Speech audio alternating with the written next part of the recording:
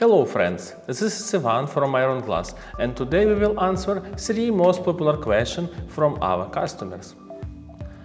Are your lenses suitable for full frame? All Iron Glass lenses cover is full frame and from 15mm up they even work with an Alexa 65, which is a much longer sensor than full frame.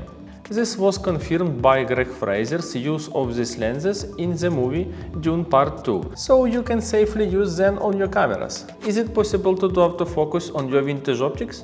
These lenses are specifically designed for manual focusing. But this is an easy way to get autofocus by using LiDAR focus system from brands like DJI or PD Movie, which a close range works surprisingly well. For a full range, it's still best to use a follow focus for complete control. Why you don't offer all the modern camera mounts? Most camera mounts are limiting because they only work on one type of camera. So we always recommended PL instead. It's the first universal mount that fits all camera with a simple adapter and is a future-proof investment. One day you might use Sony FX3 and the next day you might want to use Arri Alexa. PL mount will allow you to switch from one camera system to another easily.